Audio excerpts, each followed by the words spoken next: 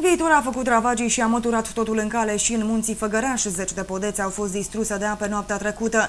Mai grav este că unii turiști au rămas blocați pe munte, iar doi cetățeni de origine maghiară sunt dați dispăruți. Echipe mixte de salvamontiști și jandarmi se chinuiesc de câteva ore bune să-i găsească pe aceștia.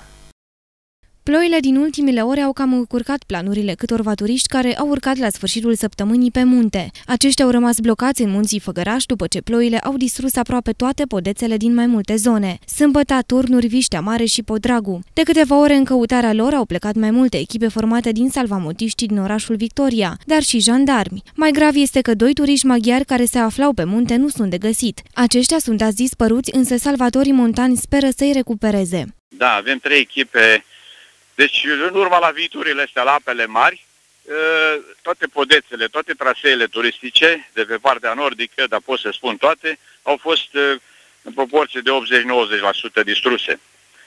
Și avem turiști rămași în zona Sâmbăta, în zona Podragu și Turnuri și Viștea Mare.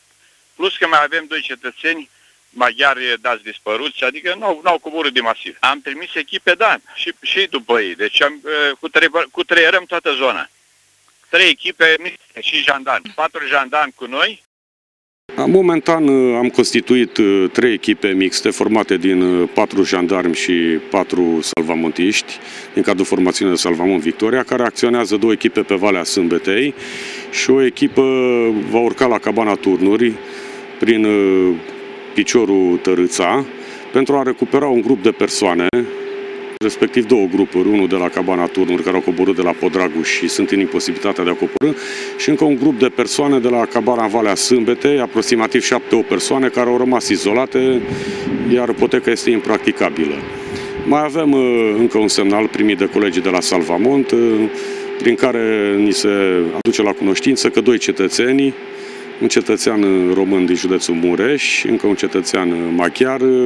De câteva zile nu mai au rudele legătura cu ei și încercăm tot prin aceste acțiuni să dăm de urma dânșilor.